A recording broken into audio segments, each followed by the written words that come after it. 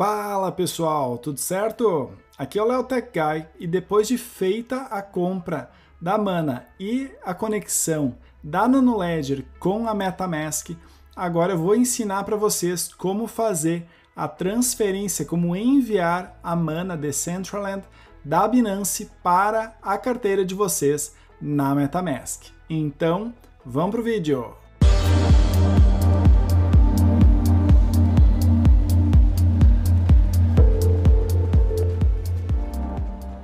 Vamos então direto aqui para o vídeo para a gente entender como a gente faz a transferência dos nossos fundos da Binance para a carteira na MetaMask. Então, tá aqui a MetaMask que eu configurei para fazer essas transações e receber e armazenar esse dinheiro.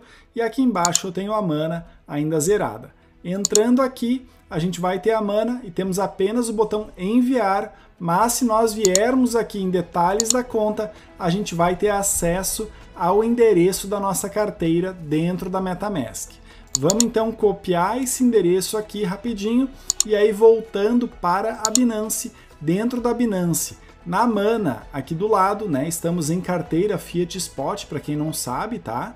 Carteira Fiat Spot, onde estão os nossos fundos, né? Vou deixar apenas oculto os valores, mas dentro dos nossos fundos aqui, Mana, Sand, né, aqui o SDT, BNB, entre outras, nós temos aqui a Mana e aqui na linha da Mana nós vamos clicar em saque. Clicando em saque, eu vou então colar o endereço da minha carteira aqui no espaço endereço e aí ele já vai me trazer que essa é uma rede Ethereum ERC20, tá legal? E agora, com a carteira colocada aqui, eu dou uma rolada aqui para colocar o valor que eu quero fazer a minha transferência, tá?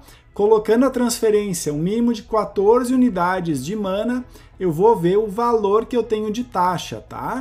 Só para vocês terem ideia, se eu colocar aqui 20 unidades, nós temos aqui uma taxa de 7,1 mana, que hoje está custando em torno de 4,5 dólares, vezes 5,5, nós vamos ter aí mais de ser quase, né, em torno de 150 reais só de taxa para fazer esse envio, tá? Então, tanto se eu fizer uma transação baixa de 20 moedas, como se eu fizer de 100, 200, de mil moedas, a taxa vai ser nessa proporção, tá? Nós vamos ter 7.1 mana de taxa, independente do valor que a gente estiver transferindo. Por esse motivo, eu não vou fazer essa transferência agora, mas bastaria eu clicar aqui no saque, colocar as minhas autenticações de dois fatores para enviar esse dinheiro para minha carteira.